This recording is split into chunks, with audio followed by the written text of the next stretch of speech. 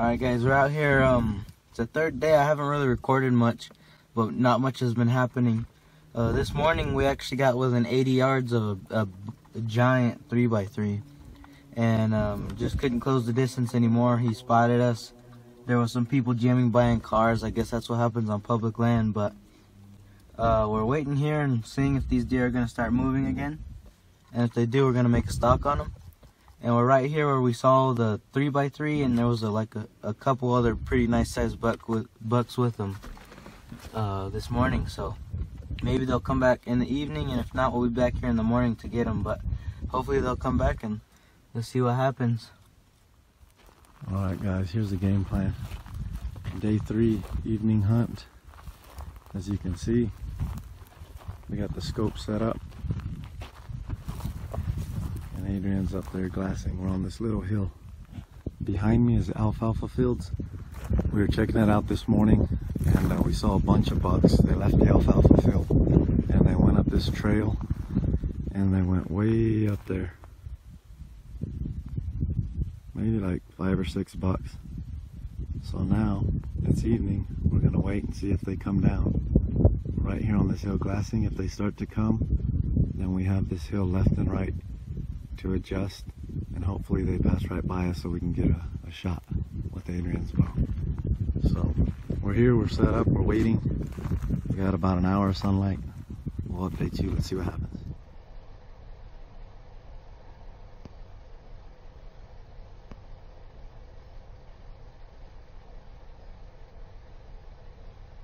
Wow guys, what a crazy day today.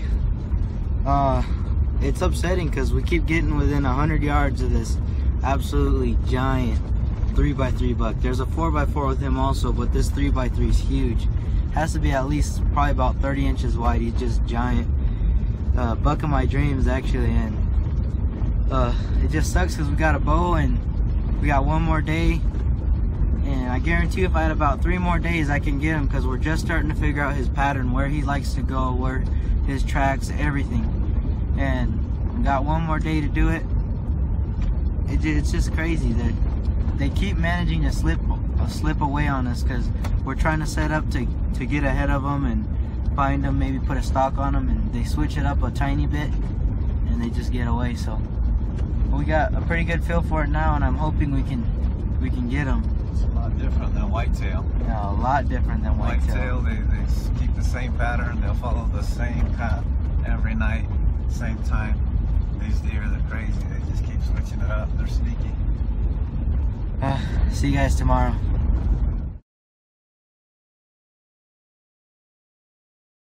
We're working our way towards the final hunt. Hopefully we can get on this guy.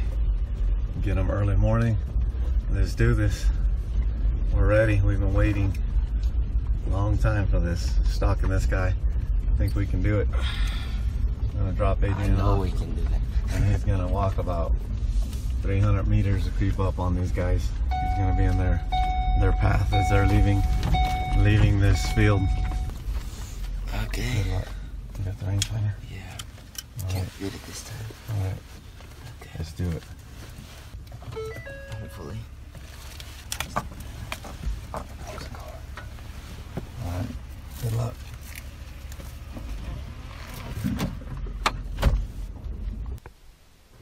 The bucks that we had been looking for were in the field as the sun came up.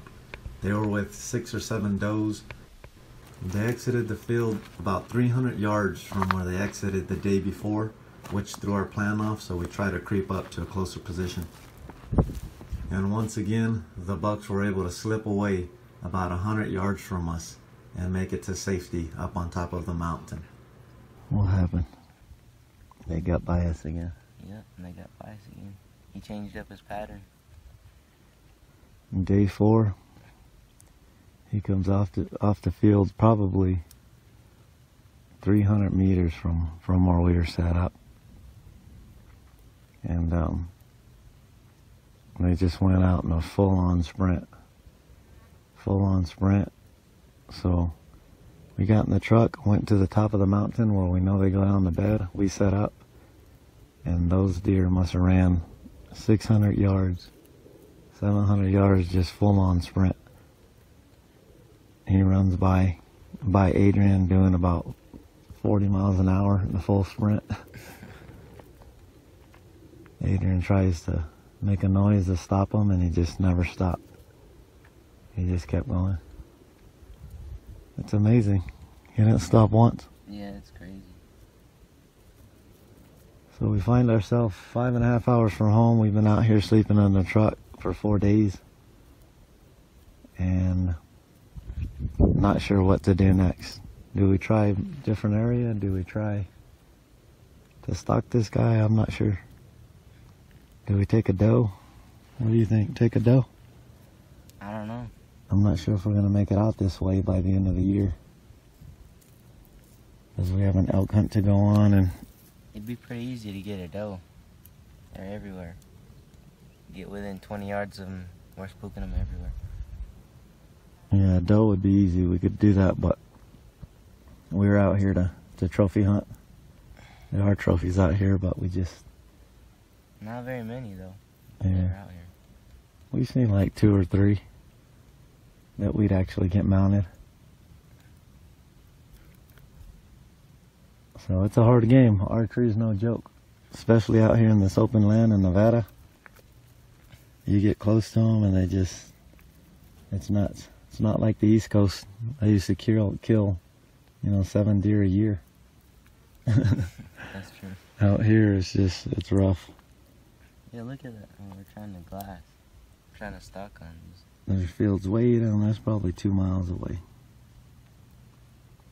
And then behind me, once they make it past this little line of bushes, is the biggest mountain on earth up there. And there's a little valley going up. A little valley going up, and, and they just run up that thing. And they're probably at 8,000 elevation. It's absolutely nuts. Are you defeated? Nah, I think if we were had more time, we'll just go about things differently, we can we could get them. But we're doing something wrong, so I don't know what it is. We'll figure it out. Looks like a rabbit. Rabbit was having a, a very nice meal, taking a dump at the same time. That's hilarious. I might not be able to make it back out here because I have an elk hunt pretty soon and we're planning on stuff possibly in Arizona and everything. And these trips cost a lot of money and it's about five or six hours away from home. I don't know if I can afford to take another trip back out here, so I might just have to take the next next deer I see. Try to get something, whatever you see now, right? A tag. Yep. Where should we go?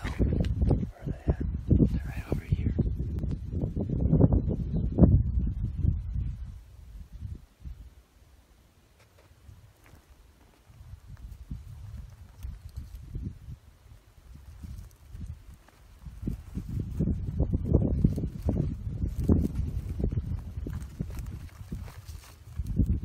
Just walk forward and it'll jump.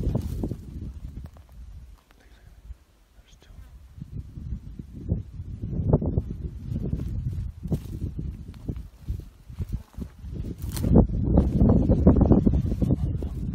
There's three. There's five. Adrian decided to take a doe. And this is his arrow. Went in the doe. And it's sitting here on this bush. It's covered in blood. Looks like a good shot. Let's go track her down. We're following the blood trail. She's still there running, what, 75 yards? She dropped over here. Gonna be his first archery mule deer. If we can track her, which we can. There's a lot of blood.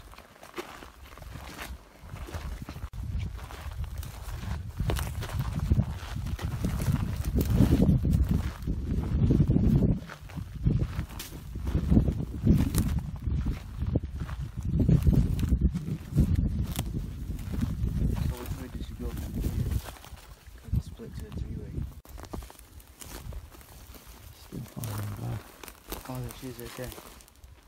Oh man, there she is.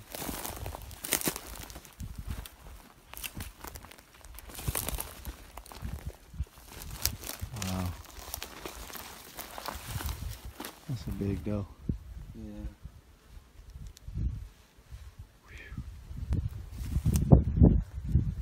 You glad? Glad yeah. you got a deer? Yeah, but I hate the shot. A bad the, shot the it? only thing about this bow is it's pretty loud. Both those deer I've shot at so far on this trip, they jumped. They jumped forward when I shot. And this one, I have Lumenoks and it was about 30 yards. So yeah, I, I was, I would rather shoot a big mature doe than a little buck. So that's one reason why I also took one of these. A doe. Yeah, this doe was actually going with the little 2x2 and I was like, shoot the buck, shoot the buck. It had little crab claws on top. And um, he decided he didn't want to shoot the buck. He'd rather shoot a doe because there's thousands of does out here. And uh, we'll leave that buck for the future. And this, this was a nice mature doe. So This doe is probably 130, 140 pounds. She's huge. Yeah, she's pretty big. Well, I'm happy to get a deer here, and um, we we've been out here four days trying to get on those big bucks, and they just kept slipping away somehow. And I mean, I didn't want to take a, a little buck. I don't want to waste. I don't want to destroy an opportunity for someone else to possibly kill a bigger buck in the future, because that little those little bucks are gonna grow. So instead of killing a yearling buck, I just decided to take a nice mature doe. Uh, this is a nice big doe right here. And, um, I mean, I'm not happy with the shot I, I took, but she was at 30 yards and I took a shot in the arrow. I have Lumenoks so I could see where they're going. And I was going straight right here for the lungs. And she ran forward and jumped it, so I hit her in the back legs, but I hit an artery and she didn't run too far, so. Got a nice doe here. Put some meat in the freezer. Gonna make some jerky out of her too. Some good meat right here. She's a pretty big one. I think she's bigger than the one I killed last year. She's huge. All right, we'll get on to a buck My soon. first archery mule deer. Hey, archery is tough.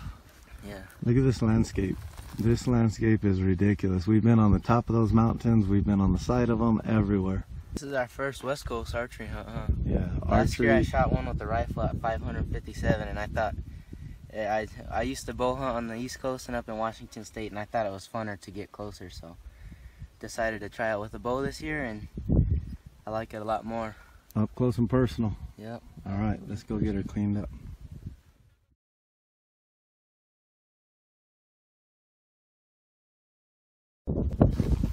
Okay, guys, we're cleaning this deer, and we're gonna take the neck roast, and we noticed something. What are those in his neck? Looks like they're coming out. Yeah. They're worms in its neck. Oh man. All in his neck. There's tons of them. He's loaded with these worms in there. All moving around. That's disgusting. Look at get in, get in the throat from the angle. Is that normal? I don't think that's normal. Wow. Alright guys, that's gonna be it for this trip. I had a great time out here. I mean, we almost got on some giant bucks.